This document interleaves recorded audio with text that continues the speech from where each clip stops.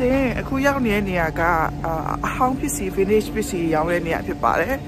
အဲဒီစင်သွားပြီးတော့ပေါ့နော်အကြည့်ချင်တယ်ဒါပေမဲ့ bike စားလို့အရင်တစ်ခုခုစားလိုက်ပါဦး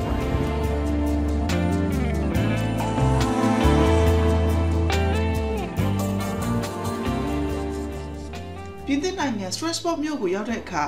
သွားလေတဲ့နေရာတွေထဲမှာမှရှေးဟောင်းပစ္စည်းတွေကိုရောင်းနေဈေးလေးကထိတ်ဆုံမှရှိပါတယ်။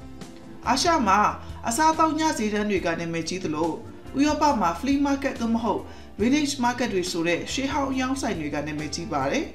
။ရောင်းတဲ့အထဲမှာလက်ဖို့လက်စားတွေရှေးဟောင်းပကံတွေနဲ့ပကြီးပရိဘောဂါတွေတော်တော်ဆဆုံလေးလေးငွေရရှိပါတယ်။ဒီစင်ဒီရှေးဟောင်းပစ္စည်းအယောင်းဆိုင်ကိုသွားပြီးနောက်မှာတော့ Strasbourg Cathedral ကိုသွားဖြစ်ပါတယ်။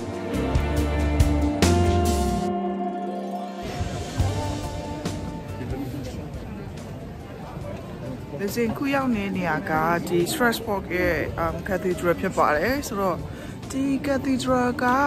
နှစ်ပေါင်း900ဝန်းကျင်လောက်ရှိပြီပေါ့နော်ဆိုတော့အဲတော်တော်လေးကိုနှစ်တွေအရန်ကြာခဲ့တဲ့ cathedral ဖြစ်တယ်ပြီးတော့သူ့ရဲ့အမြင့်ပေက1600ကနေ1800ကြားမှာအမြင့်ဆုံး cathedral ဖြစ်ခဲ့တယ်ပေါ့နော်ဆိုတော့ဒီတမိုင်းဝင်ဘုရားကျောင်းကျိုးသစဉ်လာနေဖြစ်ပါတယ်ဒါပေမဲ့အရှိမလူကအယောက် 300လောက်ရှိမယ်ထင်တယ်တန်းစီနေရတယ်ပေါ့နော်ဒါပေမဲ့ကိုကပပပပန်းလာနေပြီမှဆိုတော့ဝင်လိုက်ပါမယ်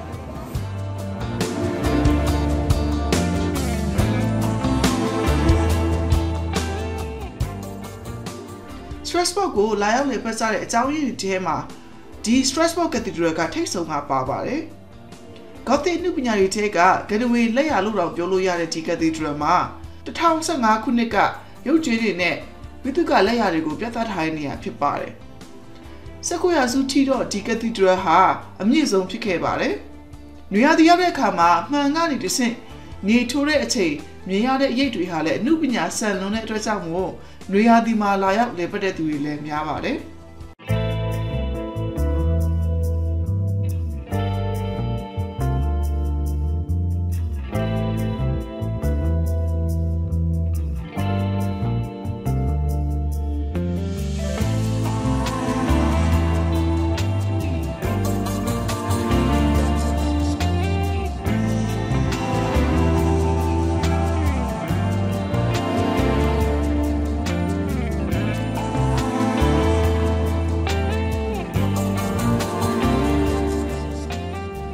ဒီ cathedral ကြီးထဲမှာရှိတဲ့ organ ကြီးရဲ့နဲ့အနုပညာရှင်သင်္ချာပညာရှင်နဲ့စက်မှုပညာရှင်တို့က1842ခုနှစ်မှာတည်ဆောက်ထားတဲ့ The Astronomical Clock တို့ဟာပြည်သိသမိုင်းမှာနာမည်ကြီးတဲ့အရာတွေဖြစ်ပါတယ်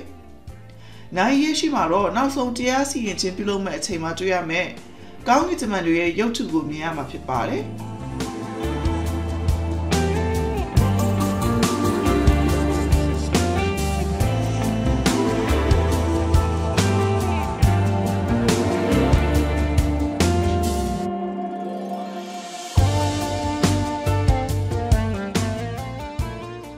အစင်ရဲ့ဒီ fat vlog စီစဉ်လေးတော့ပါပဲ။ဒီစင်တော့နောက်ပတ်သက်နေဆိုတွေ့ကြအောင်နော်။